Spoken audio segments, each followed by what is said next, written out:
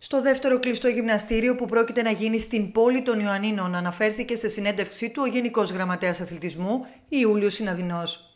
Ο κύριος Συναδεινός, συνοδευόμενος από τον πρόεδρο του ΠΕΑΚΙ, έκανε ένα μήνυ απολογισμό όλων όσων έγιναν τα τελευταία χρόνια, καθώς όπως είπε ολοκληρώνεται μια θητεία από το Υπουργείο και μετά τον απολογισμό του ΠΕΑΚΙ υπάρχει σύμφωνα με τον κύριο Συναδεινό θετικό πρόσημο για την περιοχή μας. Ο κύριος Συναδεινός, με την ευκαιρία της παρουσίας του στα Γιάννενα για το 27ο Πανευρωπαϊκό Πρωτάθλημα Τεχνικής Κολύμβησης, αναφέρθηκε στο στίχημα που είχαν βάλει με την ανάληψη της ευθύνης της διοίκησης. Το στίχημα, σύμφωνα με τον ίδιο, έχει κερδιθεί και δείχνει ότι ο ελληνικός αθλητισμός ξεπερνά την κρίση. Ο κ. Συναδεινός είπε ότι προσπάθησε να κρατήσουν ανοιχτές πόρτες σε όλους, ανεξάρτητα από τις πολιτικές προτιμήσεις του καθενός και να διαχειριστούν ένα πρόγραμμα για τις αθλητικές υποδομές που ξεπέρασε τα 100 εκατομμύρια ευρώ, ενώ με τις αναβαθμίσεις προσθέθηκαν σε αυτά και άλλα, και άλλα 25 εκατομμύρια ευρώ. Ολοκληρώνεται μια θητεία εκ μέρους του Υπουργείου Αθλητισμού και της Γενικής Γραμματείας Αθλητισμού και νομίζω ότι μετά και τον απολογισμό που πρόσφατα έκανε και η διοίκηση του ΠΕΑΚΙ εδώ στα Γιάννηνα ε, έχει αποτυπωθεί ένα θετικό πρόσημο. Ε, εγώ ήθελα να σας πω ορισμένα πράγματα σε σχέση με τον ελληνικό αθλητισμό γενικότερα. Περάσαμε μια τετραετία όπου η χώρα είχε ιδιαίτερες δυσκολίες και είχαμε βάλει ένα στίχημα πως ο ελληνικός αθλητισμός θα συμβάλλει ώστε να βοηθήσει την ελληνική κοινωνία η οποία είχε γονατίσει στο παρελθόν να ανακάμψει και πώς ο ελληνικός αθλητισμός θα μπορούσε να βοηθήσει να διατηρηθεί και η κοινωνική συνοχή και να αποτελέσει ένα εφαλτήριο για την κοινωνική και οικονομική ανάκαμψη. Ειδική αναφορά έκανε στα έργα της Υπήρου αλλά και στο δεύτερο κλειστό. Σύμφωνα με τον κύριο Συναδεινό, στην Ήπειρο υπήρχαν πριν από το 2015 δύο εξελίξει έργα. Την περίοδο 2015-2019 τα έργα, σύμφωνα με τον κύριο Συναδεινό, είναι 28 σε όλους τους νομούς ισόπωσα κατανεμημένα. Ανέφερε ότι εντάχθηκε ο φωτισμός του γηπέδου της Ελληνοπούλας, που είναι και από τις τελευταίες παρεμβάσεις που θα γίνουν άμεσα. Ενώ για το δεύτερο κλειστό αναφέρθηκε σε όλα όσα είναι σε εξέλιξη και ερωτηθείς για το χρόνο αποπεράτωσης, είπε ότι πάντα υπάρχουν διαδικαστικά αλλά και γραφειοκρατικά θέματα που δημιουργούν καθυστερήσεις. Εμφανίστηκε ωστόσο αισιόδοξος για το ξεκίνημα των έργων. Όπως είπες, συναντήθηκε με τον νυν δήμαρχο, το Θωμάτο Μπέγκα, και έκαναν συζήτηση για τα δύο μεγάλα έργα που είναι της Γενικής Γραμματείας Αθλητισμού και θα γίνουν σε οικόπεδα του Δήμου, ενώ αντίστοιχη συνεργασία είπε ότι θα έχει και με τον εκλογέντα δήμαρχο Μωυσή Ελισάφ.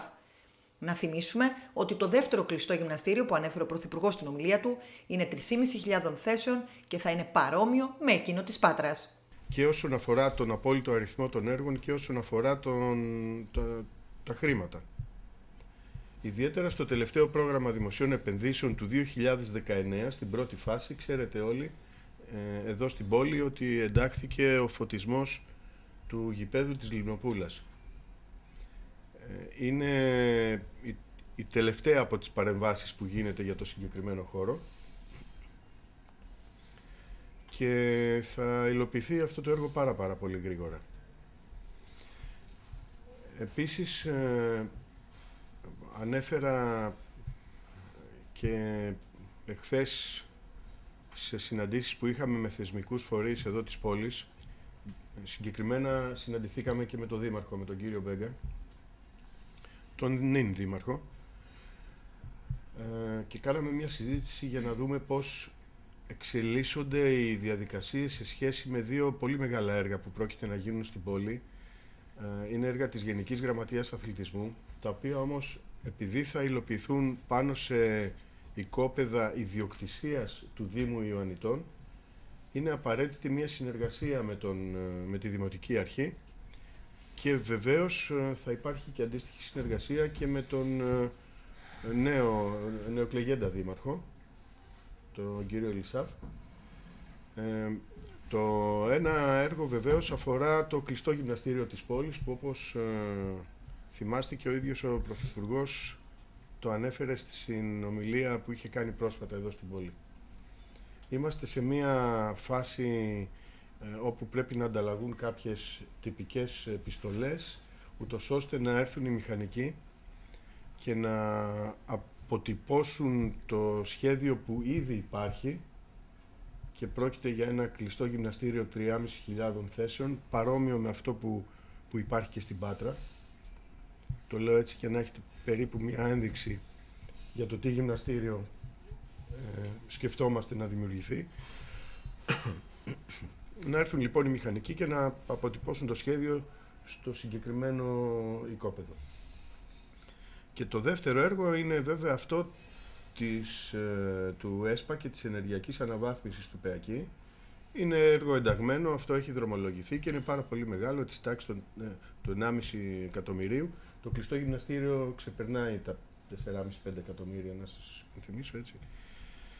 Ε, το έργο της ενεργειακής αναβάθμισης, το οποίο ε, πρόκειται να γίνει ένα μέρος του φωτοβολταϊκού συστήματος σε οικόπεδο ιδιοκτησίας του Δήμου, το οποίο ήδη έχει παραχωρηθεί ε, με απόφαση ομόφωνη του Δημοτικού Συμβούλιου της πόλης και πρέπει να γίνουν κάποιες ενέργειες και με το Υπουργείο Αγροτικής ε, Ανάπτυξης αλλά είναι θέματα εντελώς διαδικαστικά τα οποία θα προχωρήσουν γρήγορα. Τέλος, ο κ. Ντάνης ευχαρίστησε το Γενικό Γραμματέα Αθλητισμού για τη συνεργασία που είχαν, λέγοντας ότι προσπάθησαν και επιχείρησαν σε ΕΠΑΚΗ να προσφέρουν το αυτονόητο σε εκατοντάδες πολίτες που χρησιμοποιούν τους δημόσιους χώρους για να αθληθούν. Την ανάληψη της μεγάλης ευθύνης της Επιτροπής Διοίκησης για, τα, για τις αθλητικές εγκαταστάσεις, για τις δημόσιες αθλητικές εγκαταστάσεις στην πόλη, ε, ήταν ένα στίχημα και είχαν τεθεί κάποιοι στόχοι. Ήταν η οικονομική εξυγίανση, γιατί παραλάβαμε χρέος πάνω από 400.000, η συντήρηση, η βελτίωση των υποδομών για ανακατασκευή νέων, ε, η ανάπτυξη της επισκεψιμότητας του κόσμου